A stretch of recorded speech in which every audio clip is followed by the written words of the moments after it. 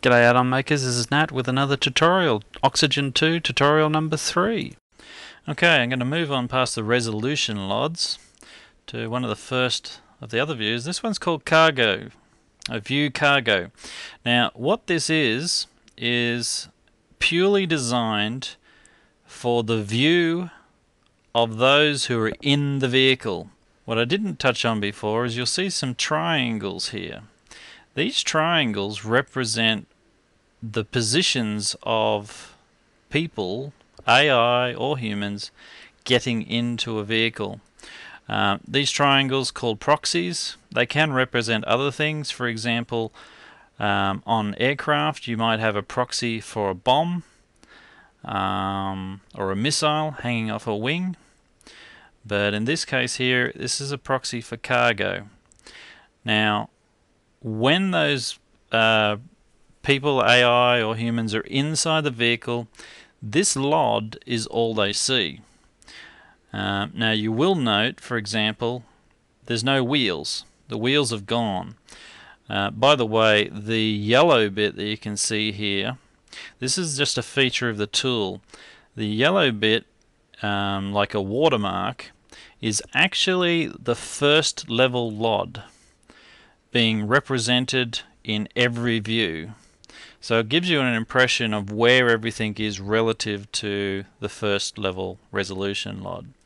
So there's the watermark of that uh, wheels there, but in this LOD the wheels aren't visible. Now if I go to the preview, we'll notice something a little different. Um, if we go inside, you'll notice the doors are transparent. Well, there's a reason for that. There's no need to have something visible on the outside of the door because in reality, the only view will be from inside. So from inside, you just see the inside lining of the door.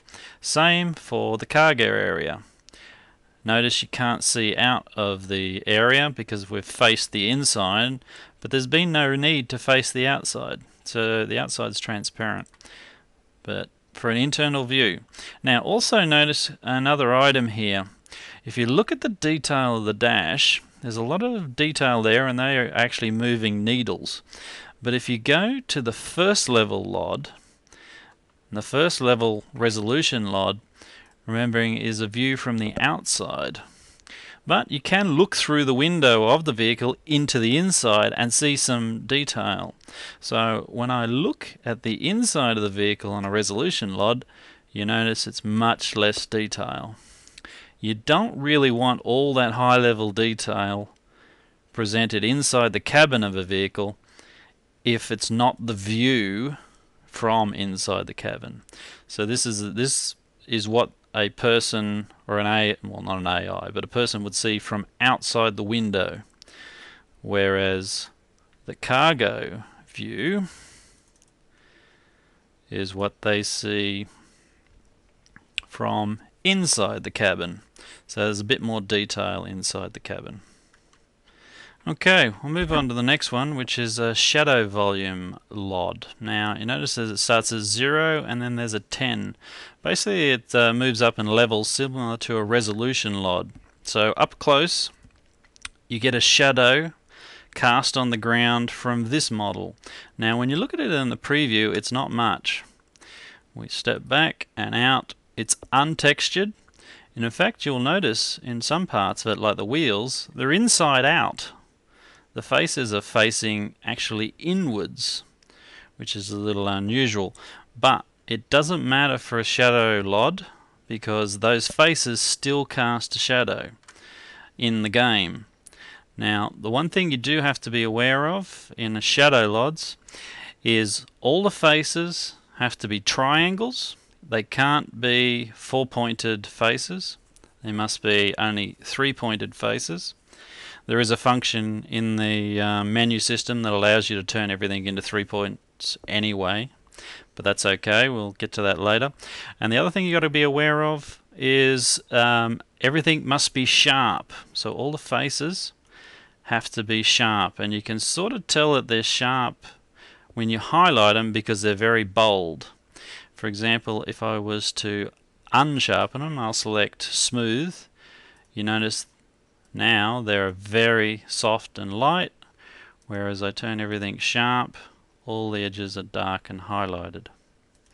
Now the 10th or 10 level is got a little less detail in it. I'll just flip back to there's 0, there's 10, so you can see there's a slight difference. If you uh, counted the points and faces, you'll also see a difference. Edit. This is an unusual one. It's a sample model. You can rename uh, a, um, a selection in here and edit. And that's basically where you can, it's like a scratch pad. You can work here and it doesn't actually display in the game. So edit 21 here is actually just a work area and it must have been what BIS themselves were working in. They left it behind. Not a big deal, just a scratch pad area. Next one, very important one, geometry. The geometry LOD, again, um, you notice when you highlight it, it comes up differently. But first of all, I'm going to go into the uh, preview and show you what it looks like. Doesn't look like much, and you notice there's a bit of darkening there. The darkening is actually just the shadow being cast onto the model. But basically, the geometry LOD is very blocky. The reason it's very blocky is because it's uh, designed to uh, mimic collisions. So this is what other things run into is this LOD. Now, um, you have to, we're talking about closed um, geometry before. The uh, shadow LODs and the uh, geometry LODs have to be closed, otherwise um, it doesn't work.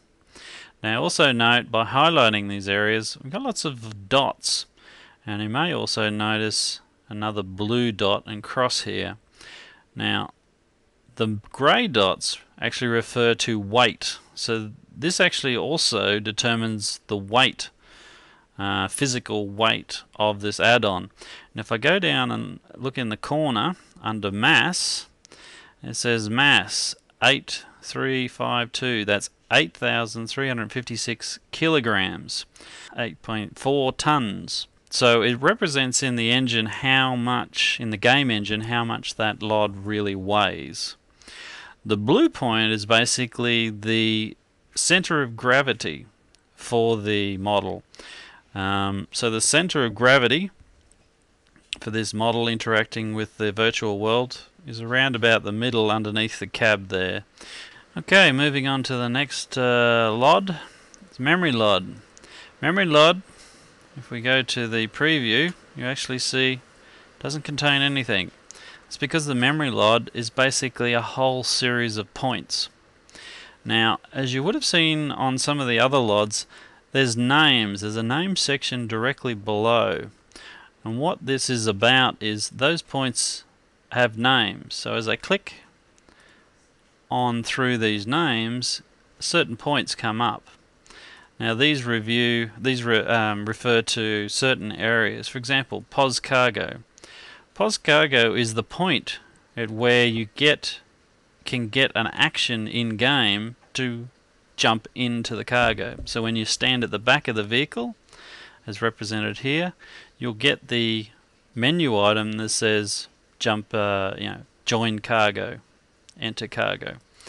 POS driver refers to a similar point where if you stand near this point in the uh, with the add-on, you'll get the menu item to become the driver. So you'll notice it here on the left hand side of the vehicle right near the driver's door. You'll notice uh, there's other things here like this named section, it's uh, check and basically it refers to special functions. This is a um, the tread of the front uh, right hand wheel. When these points are defined, this is where you probably see the tread of the vehicle driving across the ground being imprinted into the ground. So these two named points tell the game engine where to put the uh, treads as the vehicle moves.